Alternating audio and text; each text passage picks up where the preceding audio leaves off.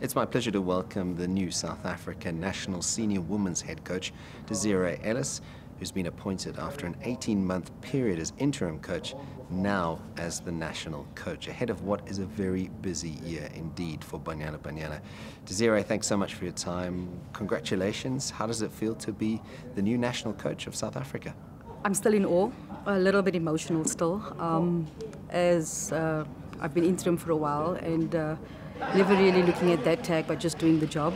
And uh, um, very excited though. A um, couple of mandates that we have to do, uh, which is which is achievable, but uh, still trying to absorb everything.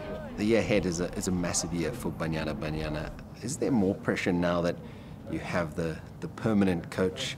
Label as opposed to just being the interim coach? I mean, is there added pressure going into a year where you need to qualify for the African Women's Championship and, of course, the big one, which is the World Cup in France in 2019? Look, while I was interim coach, I never uh, worked around that tag.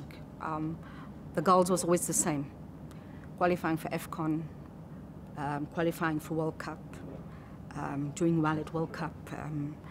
Hopefully to win AFCON because we've never done it and uh, to make sure that we, by winning it, you make sure that you qualify for the World Cup. A lot has been made of women's football and, and in particular it appears that women's football is in a really good place with a lot of emphasis on going forward and growing it with the national league coming up and of course with FIFA's proposal of 16 team global tournament. It's an exciting time uh, for women's football not only in South Africa but also in the world you're right, it's in, a, it's in a very good place. The more players we get to play at professional level, um, the more the level in our national team uh, will improve. And also the players that are not there will try and strive and push to play, um, uh, to get contracts abroad.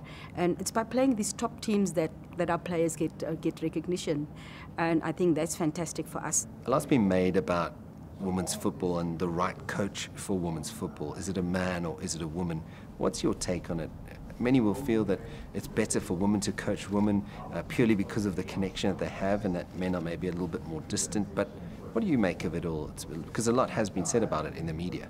Look, you see, I've been most of the time when I was playing at uh, club level, um, at international level, um, the coaches were all male.